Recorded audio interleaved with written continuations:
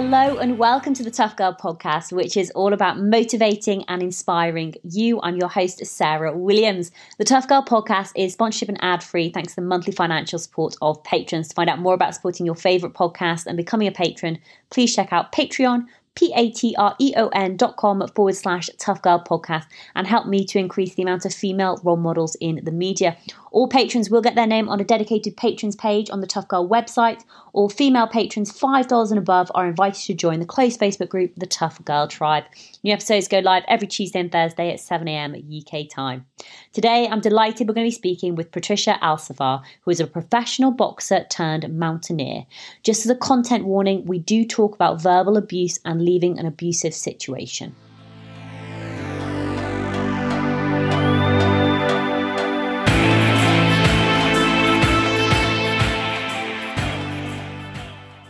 Hi, I'm Patty Alcivar, also known as Patty Boom Boom. That is my professional boxing name. I am a former two time New York City Golden Gloves champion, a USA national and world champion in boxing, and I was the first female ever to be voted Athlete of the Year by the United States Olympic Committee in boxing, which is an amazing honor and it's something that I will hold dear forever. And I am also a competitive runner. I ran my first marathon at the age of 16. My biggest passion right now, I consider myself a mountaineer, a mountain climber, um, with the goal of becoming the first Latina from New York City to climb the seven summits of the world. I have three down so far Kilimanjaro, Aconcagua, and Elbrus, and I have four more to go, which also includes Everest. Um, I also have been um, living in New York City on my own since I was 16 years old.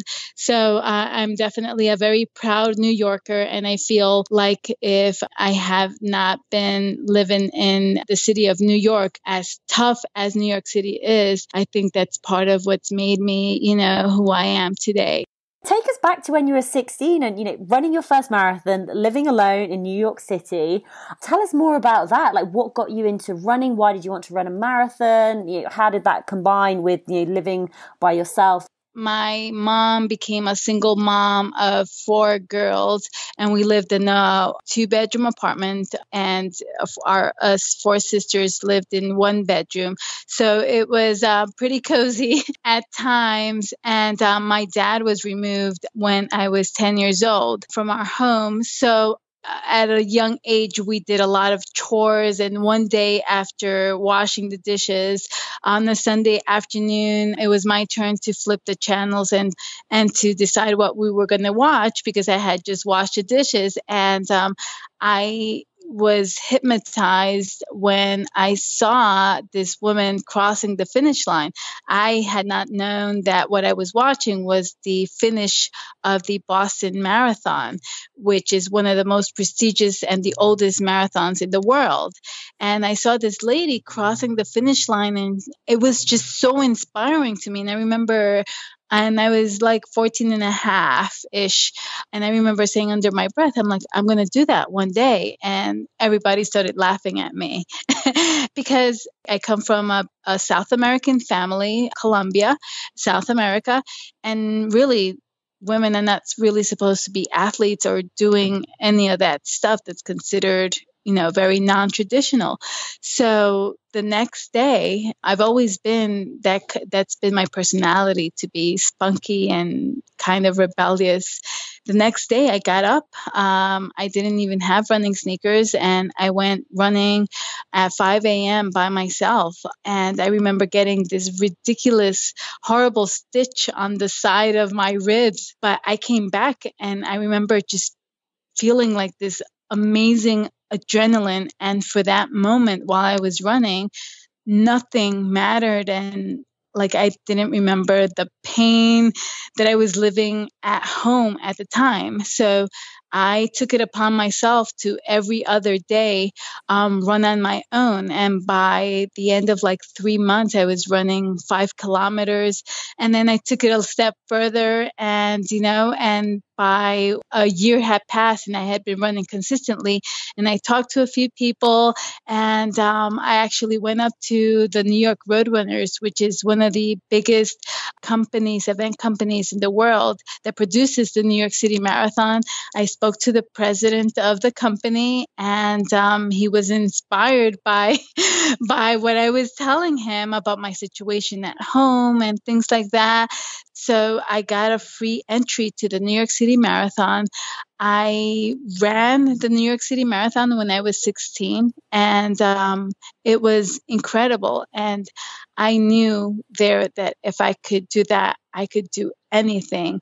And I was living in a really bad situation at home. Like I said, my father wasn't there anymore. And I feel like my mom just was overwhelmed taking care of four girls and she also became verbally abusive. And i just one day after I ran the New York City Marathon, picked up my things, my my running trophy, the little clothes that I had, and I just rented a room in a lady's home. Uh, she was like 80 years old.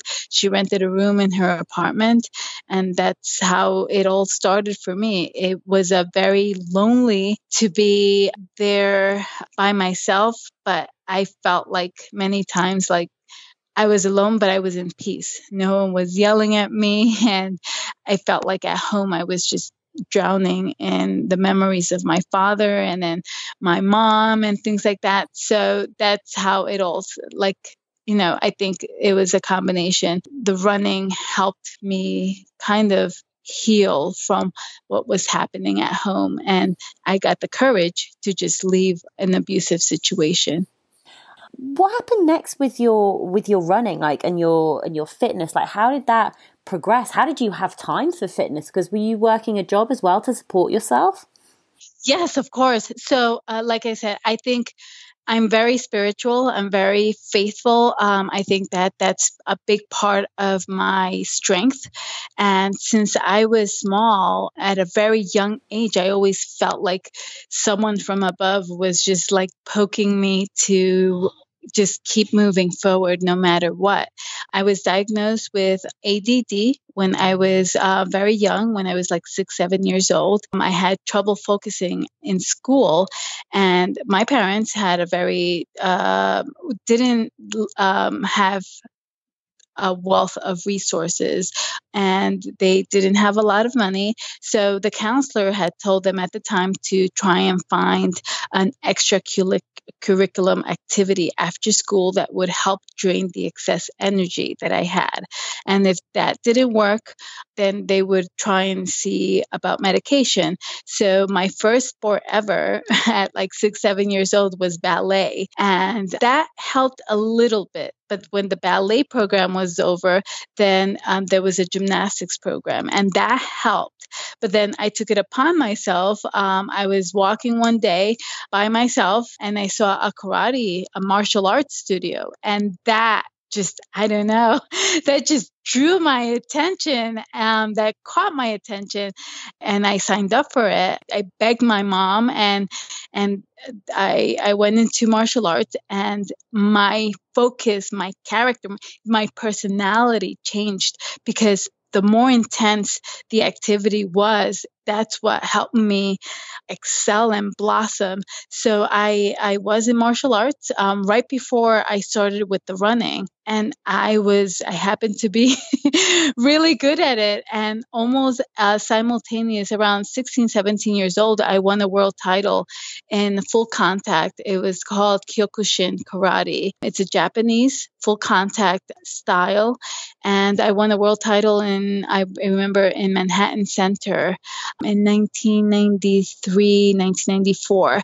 And that combined with the running was just like an amazing outlet.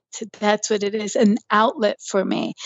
But because of my personality, when there's nothing more to do with something, I get it's I, I don't want to say bored, but it's just like okay where do i take it from here and I, if there's if there's no answer to that then i have to look for something else while I left home, I started working for my first job, which I had to lie about my age. And I worked at a domestic violence shelter called um, Sanctuary for Families.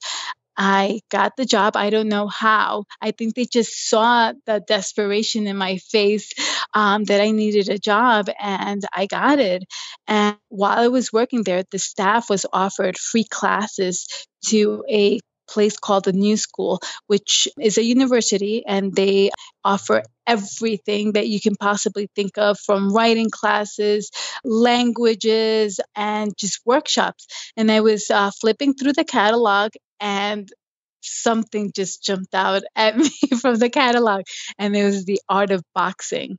And i was like whoa. I just remembered it just had flashbacks that when i was a kid i used to watch boxing on tv with my father. My father was a huge boxing fan and um, i just like i don't know it just jumped out at me. So i signed up for it right away and and i went to the class and I was super upset because it ended up being like a box aerobics class. And I remember that right after the class, the instructor um, was like this guy, huge guy, six foot five. 250 pounds, huge. And he's like, okay, kids, see you next week. And I'm like, no, you won't. And, and he was like, what do you mean? You didn't like the class? I'm like, I hated it. and this guy was like disbelief. He's like, what do you mean? I'm like, I thought this was going to be like a fighting class. I thought I was going to fight. And then he's like, uh, he was confused. He's like, you see, I, and then I said to him, you know, I'm a martial arts champion. And I thought that this might be something maybe for me to better my punches or for me to take it to the next level. And then he's like, okay, let me see what you have. Come over here. And he's like, throw any punches you want at me. And I was throwing punches after punches and he was blocking it. But I knew that the one place that you can't build muscle no matter how big you are is your solar plex. So I punched him as hard as I could in the solar plex. And um, this is a six foot five guy, huge. And he, he bent over and he looked up at me and he said, okay, so women's boxing just became legal in New York City. He's like, I'm going to train you how to fight. So um, that was it, and um, and he started training me, and within the first six months, um, I we he signed me up for my first New York City Golden Gloves tournament, and my first boxing match. I knocked out the girl within the first was it the first the first round. And boxing became something that challenged me in every way possible, spiritually, physically, and mentally. And that was what, you know, what I was looking for. Uh, if I'm not challenged, I feel like I'm wasting my time. And it definitely challenged me. And I took boxing as far as I possibly could. Unfortunately, boxing, women's boxing, is not a lucrative sport just because we're women. I like I, I, I was very accomplished as an amateur boxer. Um, like I said, I went to New York City Golden Gloves, won the first ever USA Nationals, International Championships, and then I turned professional, and I won the New York State title right here in my hometown. But I wasn't really um, making the money that I should. I really did love the sport, but the politics and everything surrounding it was something that was um, very upsetting. In one of my last fights a year and a half ago, I went to my opponent's hometown and I was winning the fight and in boxing, literally, the first time is always a warning, and you can get away with murder. And the girl jumped up, intentionally headbutted me, opened up a gash, a six inch gash above my left eye. And in boxing, if there's an, a quote unquote accidental headbutt before the end of the fourth round, it ruled a no contest. So they stopped the fight and nobody won. And that was really, really upsetting to me. And the injury that I had, you really needed to take some time off, or else it will reopen again just by a slight touch. So I took the opportunity to concentrate on something else. And I had already loved hiking. And um, the person, my boss at the time, she gave me a birthday gift, and it was my first mountaineering, alpine climbing experience in Utah. And my first time putting on crampons, I summited Mount Superior in Utah. And I remember the guide being like in disbelief. He's like, I haven't had a first time client um, summit this mountain before. And I just remember going back home and not being able to not think about it. I was just really in love with the whole experience with the mountains. And within a few months from that, I, I did my first expedition in Ecuador. I summited the mount, all the mountains there in five high altitude mountains in 10 days. And I just remember just wanting to go back and back. It was being as close as I could to my higher power and just not thinking about anything else. And with between the beauty and the challenges of the high altitude alpine mountains, I just felt cleansed and healed for those moments. So I remember asking uh, one of my guides, like, I don't want to stop this. I want to take this to the highest possible level what is that? And he's like, Have you read the book Seven Summits? Or do you know what that is? And I said, No. So he's like, I would read the book first and then you decide. And I remember um, searching for the book immediately and doing some research and then finding out that it's the highest peak in each continent and that at the time 300 people worldwide had accomplished it, I knew right away inside that that's where I wanted to take it. So um, that's been my journey since that um, I started that journey in 2017.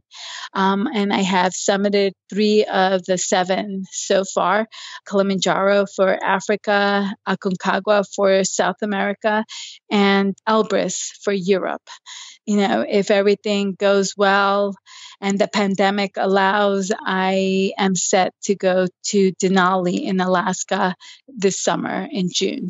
Tell us a little bit more about climbing the mountains in Ecuador. What's what's it like over there? Were you climbing um, with groups, with a guide? Were you do, you know doing it by yourself? What's it like over there for climbing? My family originally is from Colombia. So, Ecuador, when I went to Ecuador for the first time, it was an amazing experience. And again, I was just starting it with my first expedition. So, I definitely had to be guided. And Ecuador, has amazing alpine, glaciated, um, high altitude mountains. You have um, one of the highest active volcanoes in the world called Cotopaxi, which is at 19,400 feet. Um, it has Cayambe, which is at 19,000 feet as well.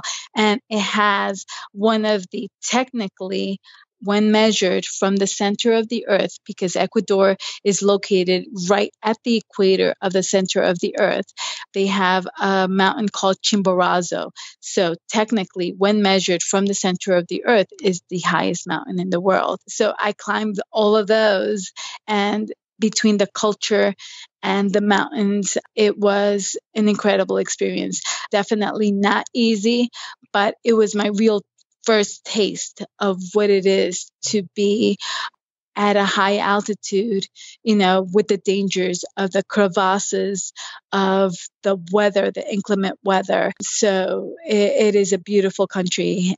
And that's where I have, um, in the past few years, gone, um, traveled often to train. I was reading on your website that one of your biggest struggles is actually patience when you're out sort of climbing mountains. How is your patience at the moment? Have, have you become a more patient person? Oh, yes. So I definitely, in the past, um, and still sometimes I can't say that I'm perfect, I do struggle with patience when I want something done, you know, right away. But that's one of the other uh, one of the many reasons I love about mountain climbing is that it has humbled me big time and taught me patience. And it's not when I want it it's when you know the mountain allows me to be able to climb because you know you can be the most well prepared athlete or person or climber. And just because you're prepared doesn't mean that you're going to be able to climb. If the weather doesn't allow, then you're not going to climb. My first time, I uh, the first time on Chimborazo, I was 600 feet away from the summit and we had to turn around. And i was like in tears. I was telling my guide no no no. We're 600 feet away. He's like 600 feet can take us three hours. I'm like three hours 600 feet i'll i'll run that on the a lap on the track like in like in 30 seconds. He's like 600 feet on this mountain will take us three hours and with the weather coming in right now we have to turn around. So it definitely humbled me to just an amazing place. Um, now I've been climbing high altitude mountains for now five years. And every time it's just a new, um, valuable life lesson that I learned on the mountain. So, yes, it definitely has taught me patience and humility and just so many other things. What goes through your head when you're climbing?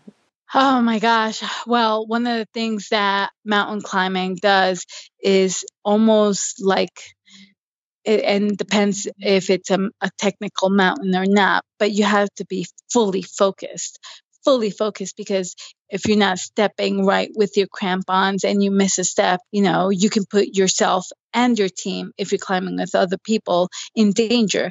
Um, usually on high altitude mountains going towards the summit, you're roped up. Either you're roped up with other team members or you're roped up with your guide. But if you take one bad step and you slide off, you're putting yourself and other people in danger. So the mountain is told, has taught me to just focus, focus on you know the task at hand and because of my ADD because of my personality because of my history sometimes my my mind has um, tends to wander and think of so many things but when I'm on the mountain I'm thinking about the mountain, really, just like on being safe, on doing everything as perfectly as I could. Um, once I get to the summit, then it's just, to me, it's just so emotional. I don't remember not like, like fully just crying and bawling at the summit just because at that time of the summit, then all the pain and all the things from my past just for that moment, just everything makes sense. Tell us about climbing Kilimanjaro, which you summited in 2017. What was that experience like for you? Kilimanjaro, even though it was a short a short trip, I was supposed to summit in six to seven days, which is usual usually the average. I was on a budget I didn't go with the big expedition companies. I researched and I found a small local company called a Trekking Hero, and we were it was supposed to be I think a group of eight or ten people. And I remember arriving there and it was just me and my guide Emmanuel. And I'm like uh where's the rest of the people? He's like they canceled. They moved their trip for next week. So it's just you and I. I'm like really? I'm like okay awesome. So you know we started and they have this thing like pole pole like step by step easy slowly does it.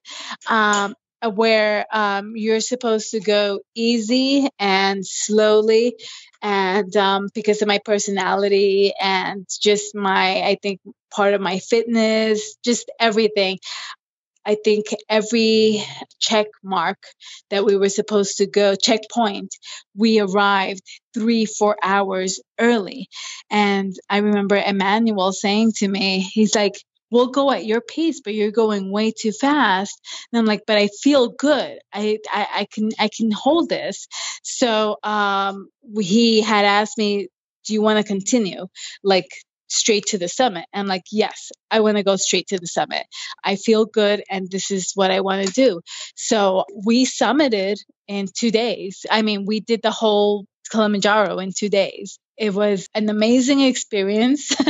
um, the summit was just amazing, and because I finished early, I didn't. I was able to. Um, they they gifted me a safari trip, a um, a trip to the coffee where they make coffee, and I think the waterfalls.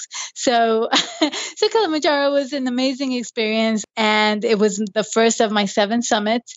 But I think that how can I say this? Um, some people get very confused with if when they go to Kilimanjaro because Kilimanjaro is not technical. People, it's just the altitude that gets you, but it's not the uh, essential of ma- mountaineering because there's uh, porters and things like that. I remember on my Ecuador expedition, a couple had just come back from Kilimanjaro and they came to Ecuador and in Ecuador it was a five mountain expedition. They weren't able to summit one. And I remember that after the trip, she got on the bus and she sold all her equipment. And she's like, I don't ever want to see an alpine mountain again.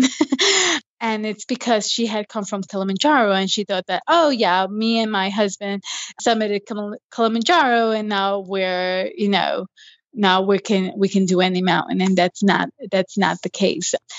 Kilimanjaro has um, snow and it's glaciated just at the very end i think the last five kilometers. But other than that it, it, starts out in a in a rainforest. But again i loved kilimanjaro and i'll never forget it. And i remember i think i wrote a whole blog about it because it was it was definitely impacting you started your year climbing Kilimanjaro and then you finished your year climbing Mount Aconcagua, the highest uh, peak in South America. Do you just want to share a little bit more about that experience and what that was like, yeah, heading over to, to climb Aconcagua? Aconcagua is definitely one of the hardest mountains and experiences I ever had. And I've, you know, in the past five years, I think I've climbed about uh, a little over 40 high altitude mountains. And Aconcagua is definitely another unforgettable experience. I trained one full year for that mountain. It's close to 23,000 feet. So the altitude is really incredible, but I trained so hard. I swam, lifted weights, ran. I carried about 50, 60 pounds on my backpack and walked for miles in preparation for that mountain. And thank goodness that that I did because um, I was also on the budget. I'm always on the budget with all these mountain climbing expeditions. And I remember getting there and um, I was I went with a company called RMI and it was a group of like 10 of us and everybody was paying these porters to carry their things and it was very expensive. so I'm like no no no no. I trained for this. So I'm just going to carry my stuff up as far as I can until the end if I possibly could. And I was the only one in the in the 10 person team that carried my stuff all the way to the very end. And it was a good 60, 70 pounds on my back. And doing that at high altitude is definitely draining. But even at that, I think uh, half half of my team got evacuated and some experienced climbers because of pulmonary edema, which was super scary. You have to trek into base camp. And once you trek into base camp, you have to pass a physical by the medical doctors there. And one of the things that they did was um, take your blood pressure. And one of my teammates' blood pressure was way, I mean, about to have a heart attack. And he had just summited a few months prior Denali. So, an experienced climber, and um, he had to be evacuated. His blood pressure didn't come down the next day, even after medication. So, he had to be helicoptered out. And my tent mate, right at high camp, also got pulmonary edema and had to get um, evacuated. So it was definitely a reality check of what could happen in a high altitude mountain. I think that one of the once when I summited, it was so crazy because I'm jumping a little bit all over the place. I remember that when I got to Mendoza, to Argentina, I remember like visualizing the whole experience and especially the summit. I saw myself on the summit with the American flag. And when I actually did summit, I remember going over to my guide and like having like this confused face. And he's like, What's wrong? And I'm like, I did this already. I was here. He's like, um, it's probably the high altitude. He's like, you're you're probably not thinking right. But I remember, and I did the whole pose. I took the American flag out. I had the summit picture, but all of that experience, like I lived it in my head. Like I just visualized it. I don't know, but um, and I spent uh, was it 14 15 days on the mountain. It was my first time that long on the mountain. And crazy enough the first night back in the hotel I couldn't sleep. It was just like like I wanted to be back in that cold tent. and it took me a couple of weeks once I got back to New York and everything. It's just like it took me a while to just get back to reality, to be back to normal.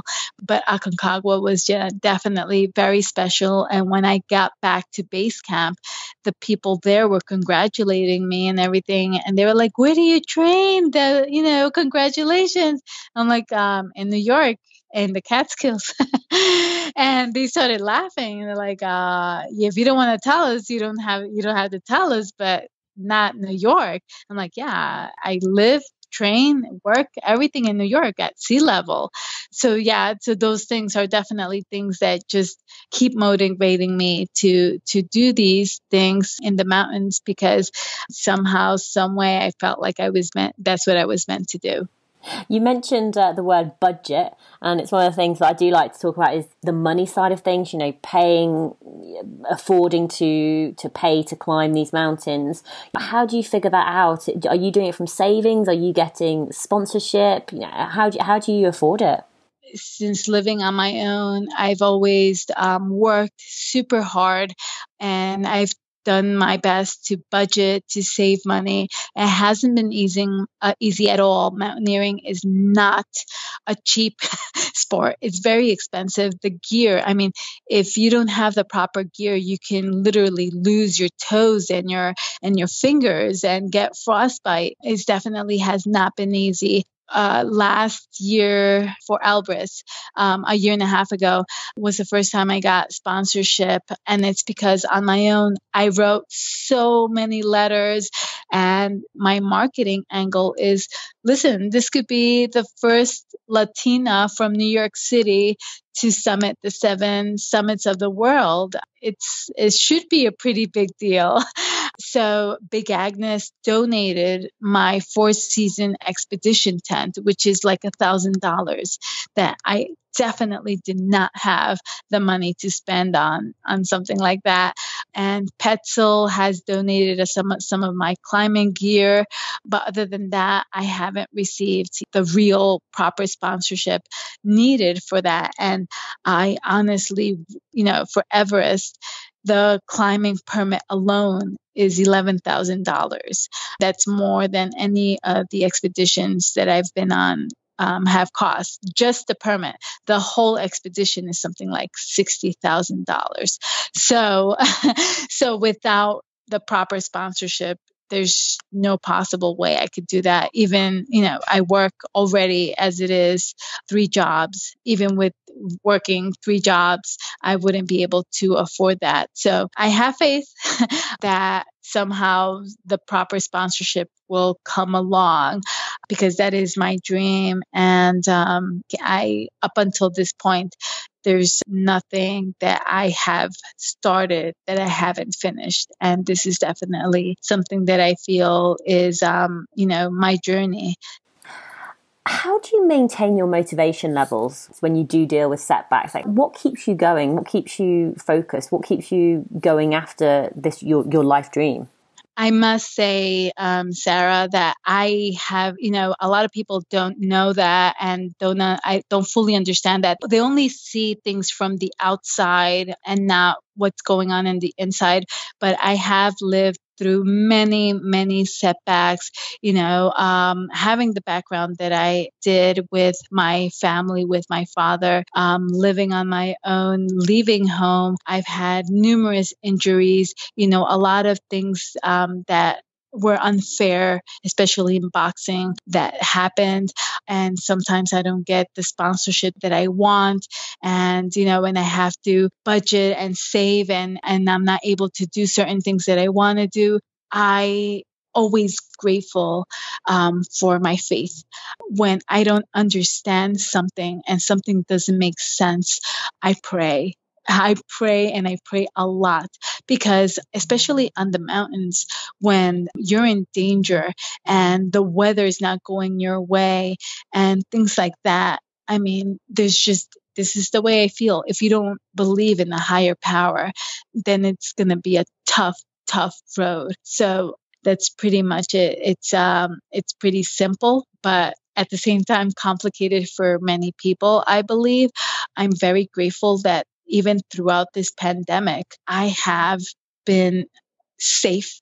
I haven't uh, caught the virus, um, knock on wood, until now. I've had my job. Um, many people here in New York have suffered um, losing their jobs and whatnot, getting hours cut. And I must say that even since March, since the pandemic here in New York City started, I've I've never been busier. I've I have my my still have my jobs, and I volunteer. I started volunteering for food pantries in March. I volunteer on a weekly basis, and that continues to um, help me see part of my purpose. You know, of helping. You know, in any way that I could, volunteering, and then through my uh, mountaineering experience through my job, it definitely is something that's very uh, fulfilling and rewarding. What's your day to day life like in New York? You know, how do you fit your your training in and, and your you know your are you still boxing? Are you still doing your your martial arts? You know, how does that all work? The one thing that I must say is that, you know, I, besides my dog, I don't have children and I'm not married. So I know that people with that type of responsibility would have less time. I have always done this.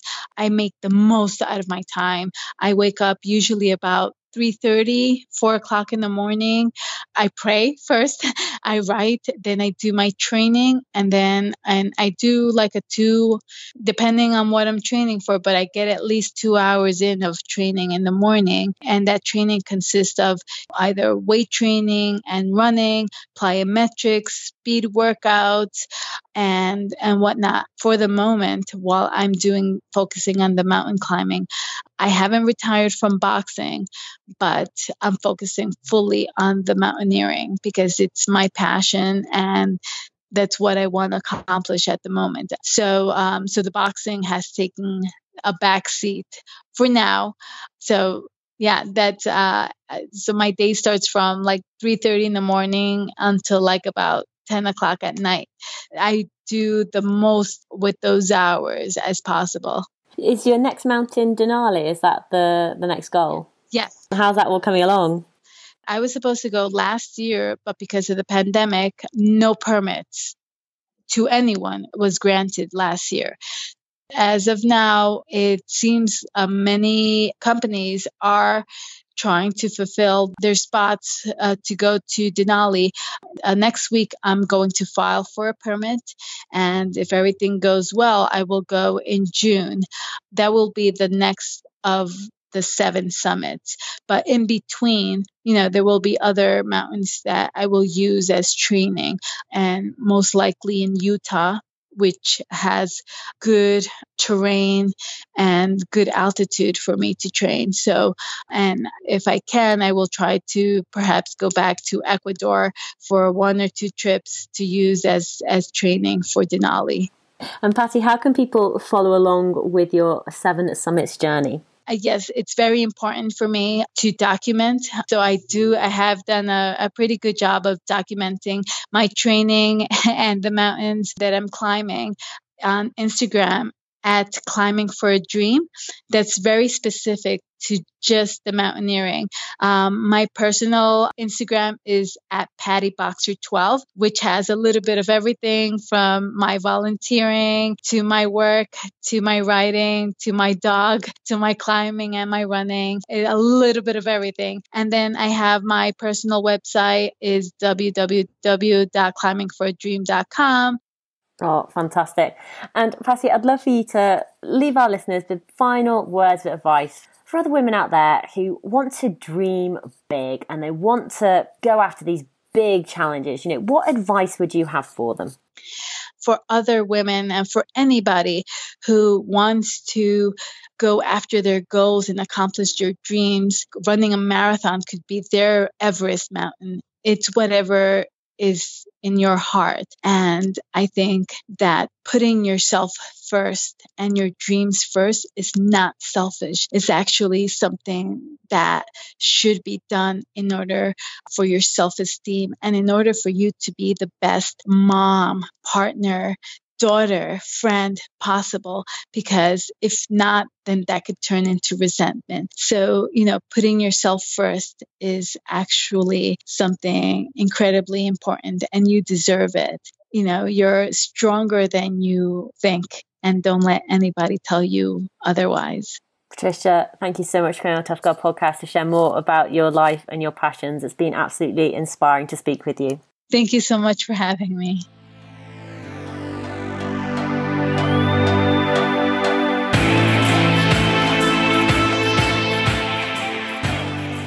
Hey Tribe, I hope you enjoyed the episode with Patty Boom Boom. What an absolute inspiration running a marathon at 16, climbing mountains, becoming a professional boxer, following her dreams, and just getting after it. Amazing top tips and great pieces of advice.